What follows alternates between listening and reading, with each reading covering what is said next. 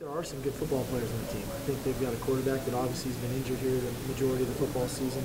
Uh, I think they have some talented kids, uh, but I think the biggest thing that, that they need to get back is a belief in winning. And right now, there's not one. There's a, there's a belief in losing. And games get tight, and you find a way to either win or you find a way to lose. And right now, Washington's finding a way to lose, and, and we have to change that culture.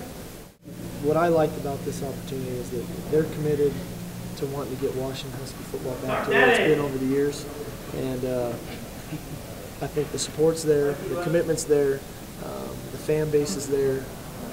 So let's go. Let's go see if we can get this thing turned around. And it's going to take a lot of hard work, a lot of effort, but uh, you know, I think it's a, it's an exciting opportunity, and it's a, it's a it's one of the jobs that you look at and you think to yourself, they're they're a better football program than what they're putting out there right now. And so, um, you know, the only way only way to go right now is up, and see how far we can go.